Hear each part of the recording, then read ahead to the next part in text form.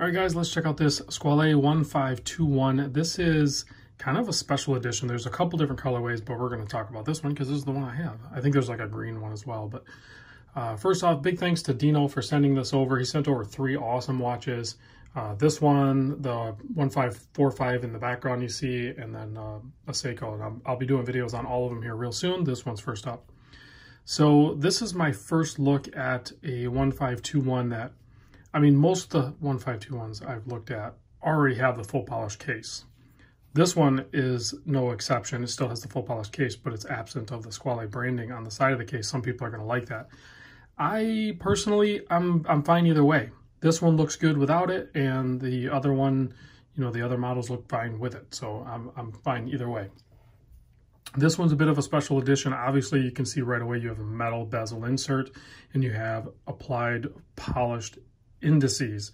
So you have a much dressier looking Squale 1521. And this one is called the Onda. And then I believe there's actually another name attached to it that kind of ties in with the dial.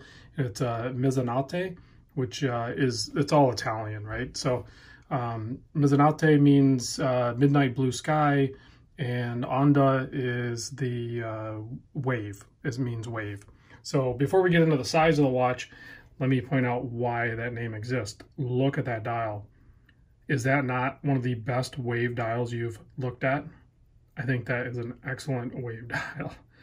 I'm really digging that.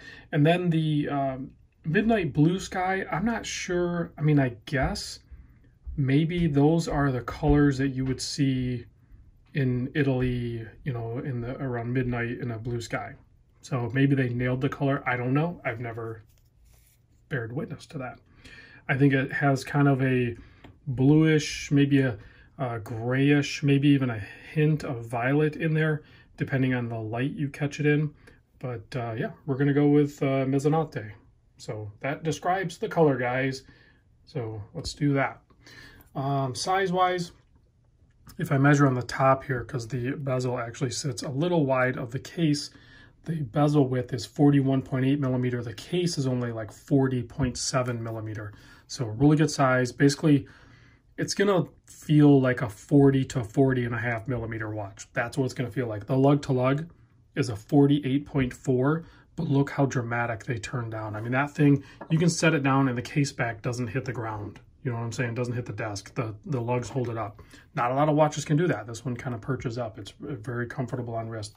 13 millimeter thick, has a flat sapphire crystal with AR coating, and 20 millimeter lug width. Most of these ship on these excellent branded leather straps. Italian made, obviously. Uh, you can put it on a nice tropical strap. I have noticed there is even a Squale brand Milanese bracelet for these. So you can play around. Um, for some reason, and I know it's uh, you know, kind of frowned upon, I guess, in some circles, depending who you talk to, pairing a leather strap with a dive watch. This one is so dressy and so classy looking that it almost like has to be a leather strap. I don't know. That's just the way I see it. Uh, obviously, uh, you know, the, the sunken in, really four o'clock offset crown is still, uh, you know, on the 1521. And then you have the screws holding the bezel down, 120 click bezel action on it just a superb bezel. So there are some 1521s with 60 click bezels.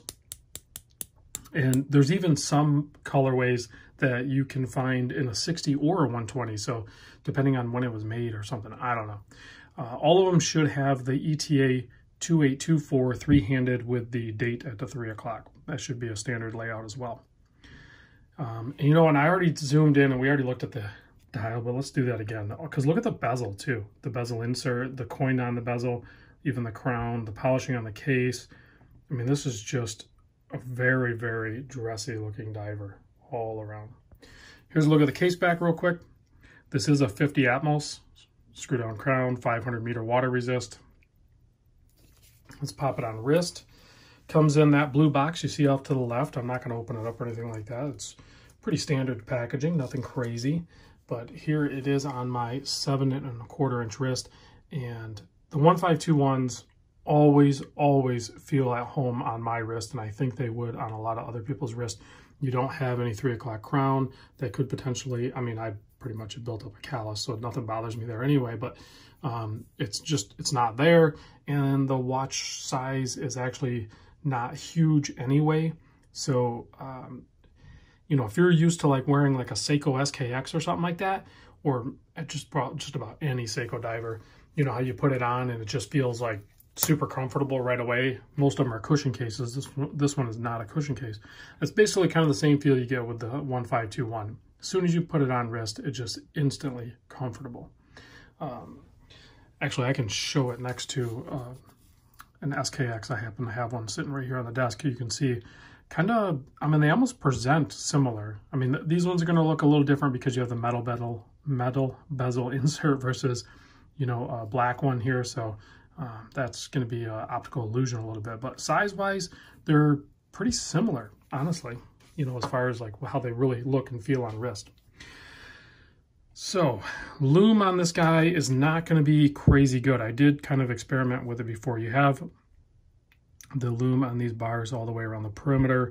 You have the hour, minute, seconds, and then there is the stripes on the 12, 6, and 9. There's nothing over here at the date position.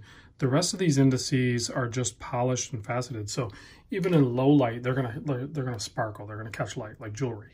So still gonna be pretty legible. Not as legible as some of the actual regular colorways. Um, you know, the blue one, obviously, the black one.